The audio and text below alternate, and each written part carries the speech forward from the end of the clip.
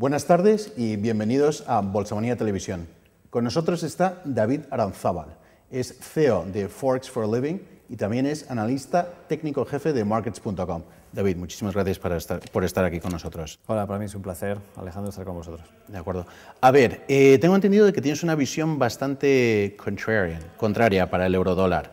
Eh, la mayoría del mercado, o gran parte del mercado, espera de que el dólar se fortalezca este año y el euro, digamos, sufra un poco, se resbale. Tú no. ¿Es eso cierto? Sí, sí, bueno, efectivamente yo tengo una visión un poco más alcista para el par. Eh, primero porque el, análisis fundamental en el mercado de divisas es tremendamente complejo y no podemos eh, reducir a una sola variable, que es la que está haciendo casi todo el mundo, eh, una posible revalorización del dólar estadounidense por el programa de, de tapering. Es cierto que el programa de tapering se ha iniciado y que eso normalmente es igual a una revalorización del dólar estadounidense, de la moneda eh, que, sea oportuna, en, este caso el dólar estadounidense, por la disminución de la compra de activos, pero eh, sí funcionó así en el Quantitative Easing 1, no así en el, Quantitative, en el Quantitative Easing 2.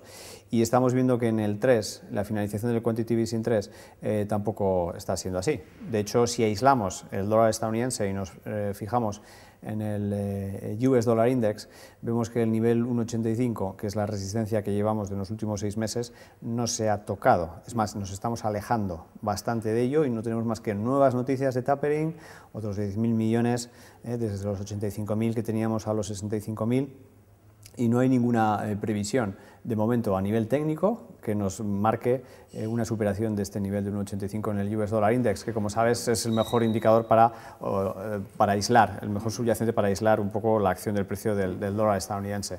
Por lo tanto, yo pienso que mientras el 1,85 se mantenga, Ah, podemos ver un escenario eh, alcista en el euro dólar. Hasta ahora hemos hablado solo del dólar estadounidense. Si ponemos a entrar en acción al euro, estamos viendo, y en concreto contra el par euro dólar, estamos viendo que en los últimos dos años está aguantando muy bien todas las noticias negativas, que le afectan eh, por supuesto, ese mismo día en intradía, pero se recupera al día siguiente, y que cualquier expectativa de revalorización del dólar o buena noticia en el, en el, en el, euro perdón, eh, hace que el euro eh, siga en la tendencia eh, alcista.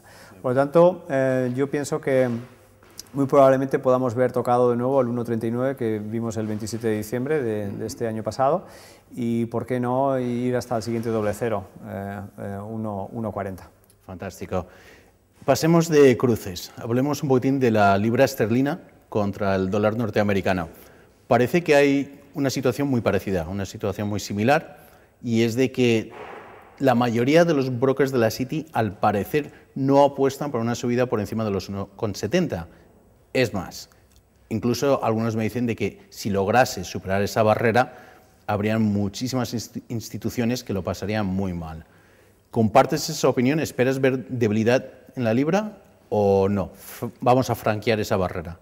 Eh, bueno, eh, no sé si vamos a llegar a franquear la barrera, pero yo también veo un panorama alcista para la libra esterlina.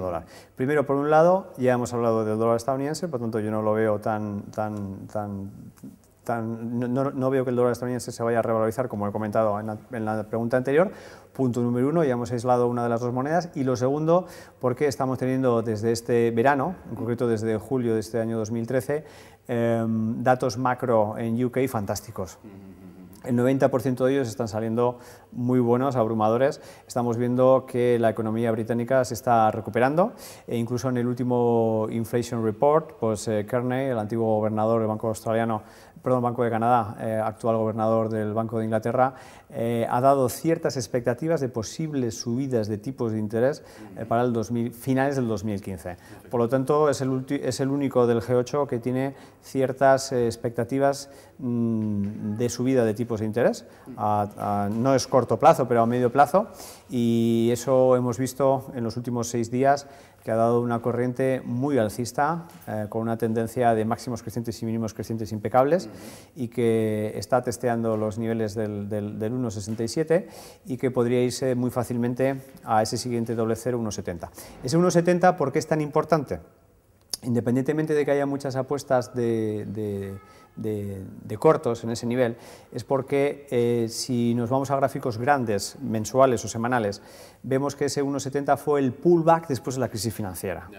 y desde entonces eh, el, cable ha estado en un rango ah, que ha durado pues, todos estos 5 o 6 años.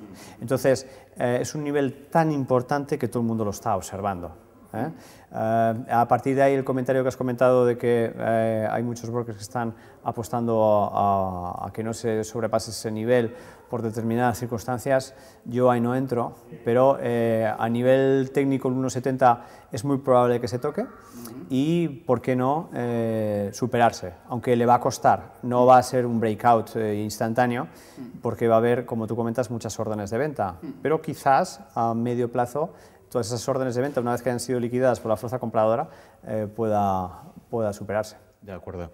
Hablando un poquitín de las tendencias en los mercados. Si uno se puede sumar al carro, al carro de las ganancias, mucho mejor. Había una tendencia o un cierto patrón que se llamaba carry trade. Es decir, teníamos tipos de interés muy bajos en Japón, entonces los inversores aprovechaban eso para invertir en aquellos países o zonas monetarias que tenían, y o iban a tener tipos de intereses más altos y por lo tanto se habían expectativas de apreciación en las divisas y solía funcionar bastante bien. ¿Eso va a volver? ¿Esos tiempos van a volver o no? Eh, el carry trade solo funciona cuando hay crecimiento económico y cuando hay diferencial de tipos de interés entre diferentes monedas.